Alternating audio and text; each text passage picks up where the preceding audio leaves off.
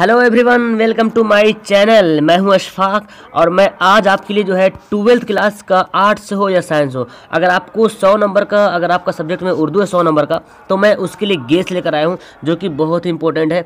तो मुझे जहाँ तक लगा कि ये सब क्वेश्चन जो है आने की संभावना है प्रोबेबिलिटी है तो मैंने गेस किया, यानी कि अनुमान लगाया कि ये क्वेश्चन आ सकता है। आप चाहें तो इसको, अगर आप पढ़ रहे होंगे तो इसको एक नज़र से देख ले। इन सारे सवाल के जो जवाब आपकी किताब में है, उसको आप एक बार नजरसानी कर लीजिए, पढ़ लीजिए। इन आपकी मेहनत रायगा नहीं जाएगी। तो चलिए मैं आपको एक बार थोड़ा सा पढ़ के बता देता हूँ। चूँकि हो सकता है मेरी राइटिंग थोड़ा सा प्रॉब्लम कर सकती है तो मैं एक बार पढ़ देता हूँ। देखिए, पहला सवाल क्या है? मियादानी शेर पढ़ने में कैसे गलती करती थी गलतियाँ करते थे? दूसरा सवाल देखिए मिट्टी की तह में कौन कौन से खजाने कुदरत ने छुपा रखा है? बहुत इंपॉर्टेंट सवाल है जी। फिर तीसरा सवाल देखिए क्या है? मिट्टी का तेल इंसान के लिए कैसे शरीक गम है? ओके? आप चाहें तो स्क्रीन भी ले सकते हैं। अम्मू के बेटों ने आ, उनकी मौत के वक्त साथ क्यों नहीं दिया?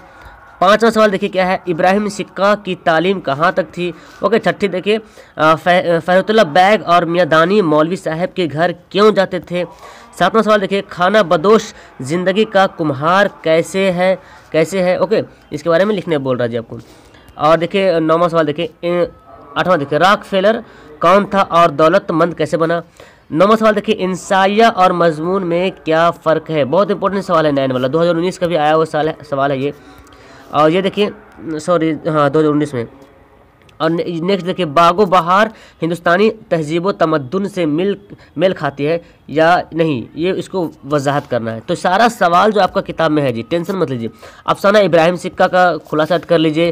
ओके, भोले विसरे गीत अफसाना भोले बिसरे गीत का खुलासा याद कर लीजिए और है प्रॉमिस का खुलासा। ओके ये तीन खुलासा अगर याद कर लेंगे तो आपको टेंशन होने रखने की ज़रूरत नहीं है।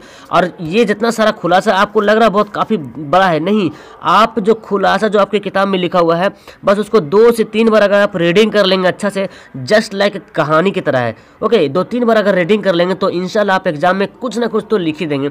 दस नंबर का सवाल रहेगा तो आपको सात नंबर छः नंबर ज़रूर मिलेगा। तो इतना करेंगे तब तो ही मिलेगा। जब तक आगे बढ़ेंगे नहीं, जब तक मेहनत नहीं तो हो नहीं पाएगा। सिर्फ़ डर नहीं जाना कि खुलासा है, बहुत भारी चीज़ है, ऐसा कोई बात नहीं है। चौदहवा सवाल देखिए बागो बहार की नसरें की नसर की अहमियत क्या है? ओके, पंद्रह देखिए, अहमद जमाल पासा की अदबी अहमियत पर रोशनी डालिए। सोलहवा सवाल देखिए, बिजली की रोशनी आने के बाद भी मिट्टी के तेल की अहमियत किस तरह बाकी है? ओके, सत्रहवा सवाल देखिए, आँखों के दिए कब बुझ जाते हैं? बहुत इंपॉर्टेंट सवाल है। अठारहवा सवाल देखिए, अदब के लिए खुद को बास नंग मुनशायर क्या कह दिया है? और नौवा सवाल देखें गुफ्तगु नज़म का खुलासा लिखें। तो नज़म जो गुफ्तगु है, मैं नज़म से दो दो खुलासा लिया हूँ, एक गुफ्तगु का है और एक आपका बर्क कलेसा का है, ओके? तो इस खुलासा याद करना है। शायर के मुताबिक मुश्किलें आसान कैसे हो जाती है? बहुत इंपॉर्टेंट सवाल है। अकबर इलाहाबादी ने अपनी नज़म का उनवान बर्क कलेसा क्यों रखा? इसको भी आपको पढ़ लेना जी। मौत के बाद शायर किस तरह अमर हो जाएगा? ये भी याद कर लेना आपको। खलील रहमान आज़मी की शायरी में कैसी कैफियत पाई जाती है? चौबीसवा सवाल देखिए। मौत की आमद से पहले जो मंजर पेश किया गया, उसे बयान कीजिए। और पच्चीसवा सवाल ये है नजम बर्क कलिसा का खुलासा लिखिए गालिब की ज़िंदगी के हयात बयान कीजिए। क्वार्टीन किस शय का नाम है? तो ये सत्ताईस सवाल जो मैं लॉन्ग हूँ मतलब मुख्तसर और तवील, ये दोनों सवाल मिला हुआ है, ओके? अब मैं आपको कुछ चार, पाँच छः तशरीह बता देता हूँ। उसको आप कंप्लीट करिए इंशाल्लाह इससे ज़्यादा तशरीह नहीं आने वाला है। देखिए, यारों ने खूब जा, जाके ज़माने से सुलह की। मैं ऐसा बद दिमाग यहाँ भी बिछड़ गया। तो एक तशरीह ये पढ़ लेना आपको। फिर देखिए हम बांसुरी पर मौत की गाते रहे नगमे तेरा ए ज़िंदगी ए ज़िंदगी रुतबा रहे बाला तेरा। फिर नेक्स्ट है, खुदा ही जाने या गाना मैं कौन हूँ, क्या हूँ, खुद अपनी ज़ात पे शक दिल शक दिल में आ गया हूँ। ओके? और ये है एक मुसीबत का पहाड़ आखिर किसी दिन कट ही जाएगा। मुझे सरमार कर तीसरे से मर जाना नहीं आता। और नेक्स्ट है, रंजो। रंज से खोगर हुआ इंसान तो मिट जाता है। रंज, मुश्किलें मुझ पर पड़ी, इतनी कि आसान हो गई। और यह है लास्ट मैं चमन में क्या गया? गोया दबिस्तान खिल गया। बुलबुलें सुनकर मेरी मेरे नाले गज़ल खां हो गए। यानी कि ये सवाल, इतना तर्जुमा, ये जो दिया तस्री दिया हुआ है छः पीस आई थिंक है ना?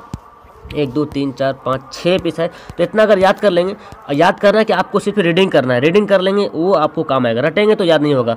तो ये आप चाहे तो स्क्रीन ले लीजिए ओके इस सारे क्वेश्चन को मैं जो यहाँ पे, ये यहाँ पे देखिए, मैं मूव कर रहा हूँ।